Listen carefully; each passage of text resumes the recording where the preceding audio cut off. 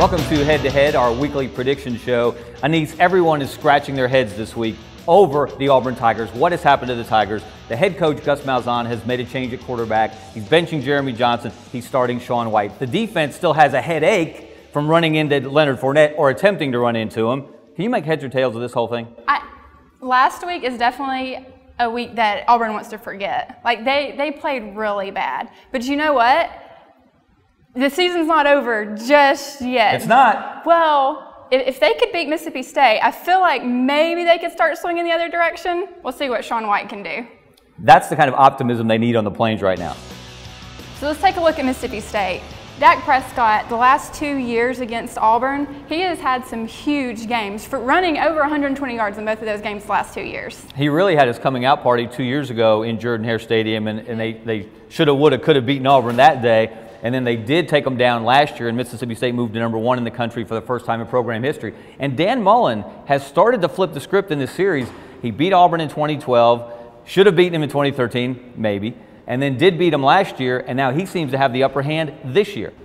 And after they lost in Starkville last year, I feel like that was the start of Auburn's troubles. Absolutely, it was. You know, since that game, Auburn is five and six overall. And in every one of those games against FBS opponents, they've given up, at, except for Louisville, they've given up at least 30 points.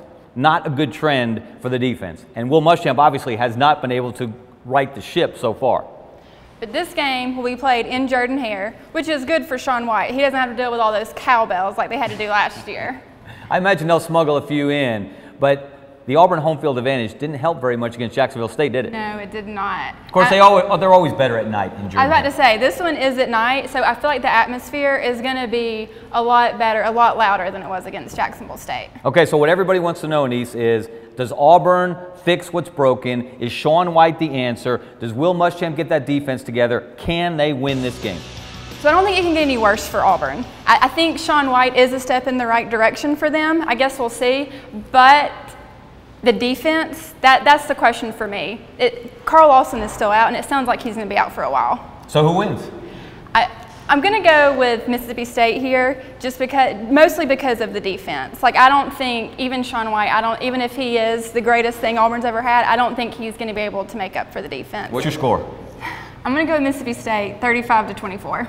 35-24. Well, let me let me suggest this to you. It can get worse at Auburn. It has been worse at Auburn. Remember 3 and 9 in 2012, 0 and 8 in the SEC. If they don't win this game, they could go winless in the conference this year. They're not going to win this game. Sean White cannot fix what's broken with that offense because there are other issues besides quarterback, and Will Muschamp hasn't had near enough time to put his stamp on this defense. They will lose. They will lose by two touchdowns, 31 to 17. If we're right, it's going to be pitchforks and torches next week.